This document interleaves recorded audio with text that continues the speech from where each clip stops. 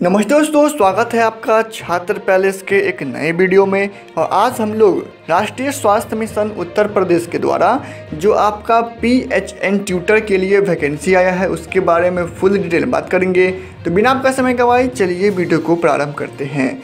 तो सबसे पहले हम लोग जान लें कि आज के वीडियो हम लोग कौन कौन से महत्वपूर्ण बिंदु, यानी कि इम्पोर्टेंट पॉइंट से बात करेंगे, जिससे कि वीडियो में बताई गई सारी बात आपको बढ़िया से समझ में आ जाए। तो सबसे पहला बिंदु हमारा है पोस्ट एंड वैकेंसी दूसरा है इम्पोर्टेंट डेट्स तीसरा है educational qualification and age limit चौथा है एप्लीकेशन फ़ी एंड सैलरी और अंतिम यानी कि पाँचवा है selection process and how to apply और साथ में वीडियो के लास्ट में हम लोग ऑफिशियल नोटिफिकेशन भी देखेंगे, जिससे कि आपको विश्वास हो जाए कि वीडियो रियल है और छात्र पहले इस वैकेंसी का कोई फेक वीडियो नहीं बनाता है। लेकिन उससे पहले, अगर आपको वीडियो अच्छा लगे और हेल्पफुल लगे तो वीडियो को लाइक कर दीजिएगा। और ऐसे ही उत्तर प्रदेश राष्ट्रीय स्वास्थ्य मिशन से जुड़ा हुआ वैकेंसीज का अपडेट लेने के लिए और उसका जो नोटिफिकेशन आता है, उससे जुड़ा वीडियो देखने के लिए चैनल को सब्सक्राइब करके बेल आइकन को प्रेस कर दीजिएगा। तो चलिए, सबसे पहले हम लोग यहाँ पे पोस्ट एंड वैकेंसी से आज का वीडियो शुरू करते हैं। तो राष्ट्रीय स्वास्थ्य मिशन उत्तर प्रदेश, यानी कि यूपी एनएचएम के द्वारा आपका पीएचएन यानी कि पब्लिक हेल्थ नर्स ट्यूटर के लिए 100 पदों पे वैकेंसी आया है। पद का नाम क्या है? पोस्ट का नाम क्या है? तो आपका पोस्ट का नाम है पी एच एन यानी कि public health nurse health nurse tutor और जो वैकेंसी है वो आपका है 100 पदों पे, यानी कि 100 पोस्ट पे। आगे बढ़ते हैं हम लोग और देखते हैं कि इसके लिए महत्वपूर्ण तिथि, यानी कि इम्पोर्टेंट डेट्स क्या हैं। तो अगर हम लोग यहाँ पे महत्वपूर्ण तिथि की बात करें इम्पोर्टेंट डेट्स की बात करें हम लोग तो तो जो आपका फॉर्म फिल करना स्टार्ट होगा इसका डेट है ग्यारह आठ दो हज़ार बाईस और आपका फॉर्म फिल करने का लास्ट डेट है इक्कीस आठ दो हज़ार बाईस।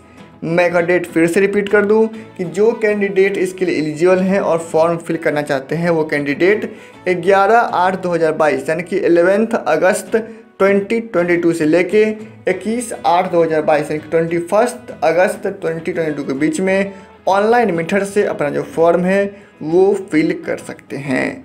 आगे बढ़ते हैं लोग और देखते हैं कि इसके लिए एडुकेशनल क्वालिफिकेशन क्या है, यानी कि शैक्षणिक योग्यता क्या है। तो जैसा कि आपको ऑफिशियल नोटिफिकेशन में जानकारी में दिया गया है कि आपका शैक्षणिक योग्यता है बीएससी नर्स बीएससी नर्सिंग या फिर post BSc nursing from recognise institution यानी कि किसी भी मान्यता मान्यता प्राप्त संस्थान से बीएससी नर्सिंग किया होना चाहिए या फिर पोस्ट बेसिक बीएससी नर्सिंग किया होना चाहिए।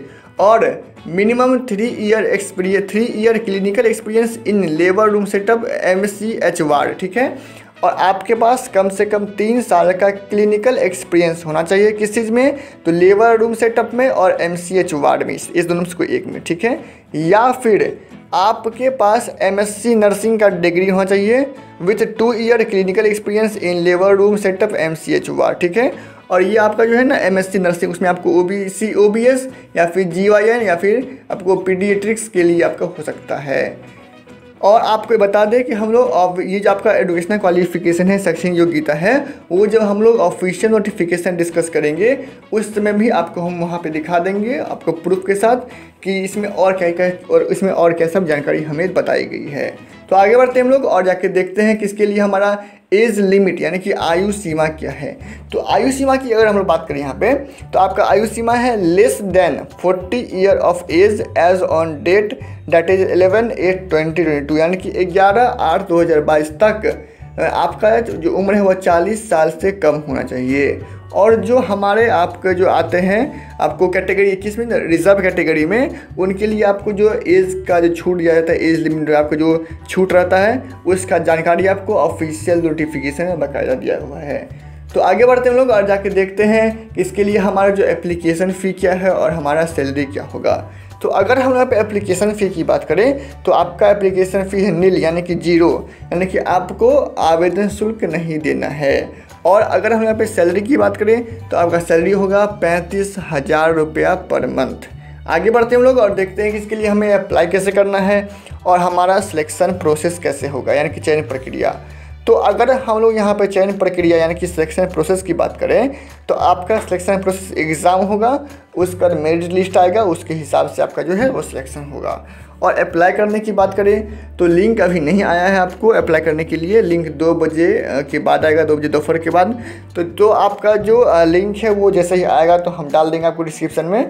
वैसे आप भी जाके देख सकते हैं और हम आपको ऑफिशियल वेबसाइट का लिंक दे देंगे डिस्क्रिप्शन में। जिस लिंक पे क्लिक करके आप लोग ऑफिशियल वेबसाइट तक पहुँच सकते हैं। तो आपको सबसे पहले लॉगिन करना है। लॉगिन करने के बाद आपका जो बेसिक डिटेल्स होता है, उसे फिल करना है। बेसिक डिटेल फिल करने के बाद आपको जो डॉक्यूमेंट है अपलोड करना है। अब कौन सा डॉक्यूमेंट अपलोड करना है, वो आपको हम दिखा देंगे आपको ऑफिशियल नोटिफिकेशन में। और वहाँ पे आपको सेक्शन दिया होगा कि कौन कौन सा डॉक्यूमेंट अपलोड करना है, वहाँ पर लिखा होगा। तो आप लोग उसे पढ़ के केयरफुल्ली डॉक्यूमेंट अपलोड कीजिएगा। और डॉक्यूमेंट अपलोड करते वक्त में उसका जो साइज़ होता है ना डॉक्यूमेंट का साइज़ जब आप स्कैन करेंगे स्कैन करने के बाद जब आप उसको अपलोड करेंगे तो उसका साइज़ को आप लोग ध्यान से देखिएगा इससे कि आपका जो एप्लीकेशन है वो सबमिट हो जाए। और यहाँ आपके से सिग्नेचर भी मांगा जाएगा तो आपको सिग्नेचर का जो होता है ना, उसको स्कैन करके आप लोग उससे डालना है आपको। ये आपको पता होगा पहले से, फिर आपको हम बता दिए हैं। तो वीडियो आगे बढ़ते हैं, और जाके देखते हैं कि ऑफिशियल नोटिफिकेशन में क्या सब जानकारी है से पहले। अगर अभी तक आप वीडियो बने हैं, अभी तक तो वीडियो को लाइक कर दीजिएगा, और चैनल को सब्सक्राइब करके बेल आइकन को प्रेस कर दीजिएगा। डिस्क्रिप्शन में ऑफिशियल नोटिफिकेशन का लिंक है, उस पर क्लिक कीजिएगा तो आप सबके सामने में एक पीडीएफ फ़ाइल खोल जाएगा जिससे कि आपको डाउनलोड करना है। पीडीएफ फ़ाइल में सबसे ऊपर आपको लिखा गया है कि detailed advertisement guidelines and section process for recruitment of public health nurse tutor यानी कि P H N tutor National Health Mission Uttar Pradesh यहाँ पे आपको सबसे पहले यहाँ दिया गया आपको पोस्ट का डिटेल कि आपका पोस्ट का नाम है पी एच एन ट्यूटर और यहाँ पे आपका टोटल वैकेंसी है सौ का, सौ पदों के लिए, और यहाँ पे आपको दिया गया है आपको जो आपका पोस्ट बांटा गया है, उसका यहाँ आपको जानकारी दिया गया है। उसके नीचे आपको लिखा गया कि डेट कि आपका जो एप्लीकेशन कब शुरू होगा फॉर्म फिल करना, और एप्लीकेशन का जो क्लोजर डेट है, वो कब है। तो आपका एप्लीकेशन हुआ लाइव ग्यारह आठ दो हज़ार बाईस, दो बजे पीएम में और इक्कीस आठ दो हज़ार बाईस, ग्यारह बज के फिफ्टी नाइन मिनट तक आप लोग इसके लिए फॉर्म फिल कर सकते हैं। अगर हम यहाँ पे देखें एडुकेशनल क्वालिफिकेशन के एलिजिबिलिटी क्राइटेरिया के बारे में तो आपको हम बताए थे कि जब हम ऑफिशियल नोटिफिकेशन डिस्कस करेंगे, तब आपको हम यहाँ पे डिटेल में दिखा देंगे।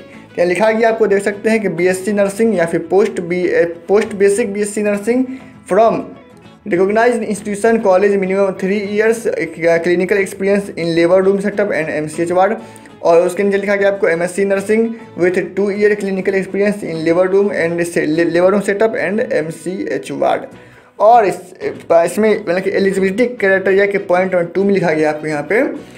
रजिस्टर्ड एज नर्स या फिर या फिर सॉरी गलती हो गई मैं आपको फिर से रिपीट कर देता हूँ। कि registered as nurse and midwife from UP nurse and mid midwives council and have valid certificate यानी कि आप लोग जो हैं, जो फॉर्म फिल कर रहे हैं, वो नर्स एंड मिडवाइफ के लिए आप मिडवाइफ काउंसिल में आपको रजिस्टर्ड होना चाहिए और आपके पास जो वैलिड सर्टिफिकेट है, वो भी होना चाहिए, ठीक है? और यहाँ पे आपको एज लिमिट है less than forty years of age age on date that is eleven eight twenty two यहाँ आपका सैलरी है पैंतीस हज़ार रुपये और यहाँ पे आपको इंस्ट्रक्शन समझा गया है कि फॉर्म कैसे फिल करना है। और कौन सा डॉक्यूमेंट आपको अपलोड करना है वो आपको यहाँ पे देख सकते हैं। इसका लिस्ट आपको यहाँ देखना है। देखिए इंस्ट्रक्शन रिगार्डिंग अपलोड डॉक्यूमेंट यहाँ पे आपको लिखा गया है कि कौन कौन सा डॉक्यूमेंट आपको यहाँ पे अपलोड करना है, ठीक है?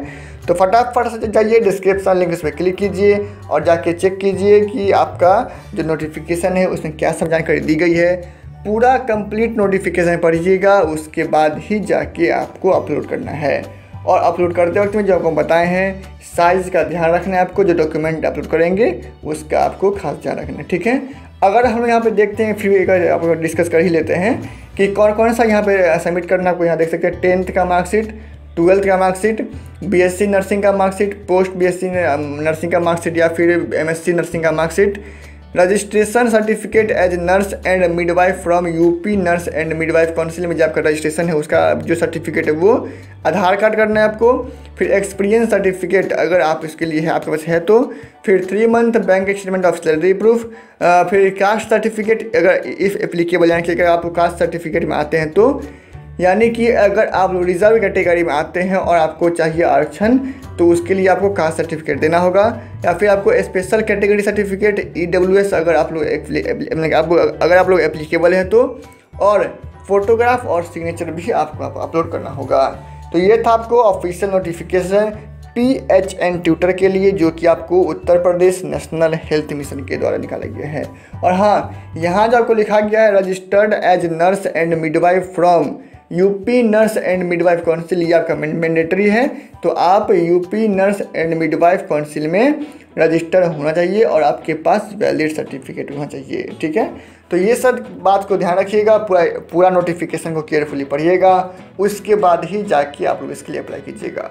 वीडियो कैसा लगा, आप हमें कमेंट में ज़रूर बताएँ। वीडियो अच्छा लगा हो तो वीडियो को लाइक कर दें और ऐसे ही करंट नोटिफिकेशन के लिए चैनल को सब्सक्राइब करिए बेल आइकन को प्रेस कर दें। और हाँ कोई दिक्कत हो, इस वीडियो से जुड़ा हुआ, इस वैकेंसी से जुड़ा हुआ तो आप हमें नीचे कमेंट कीजिएगा, हम आपके प्रश्नों का उत्तर देने का भरपूर कोशिश करेंगे।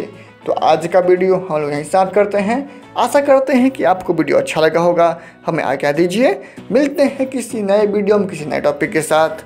जय हिंद जय भारत जय उत्तर प्रदेश।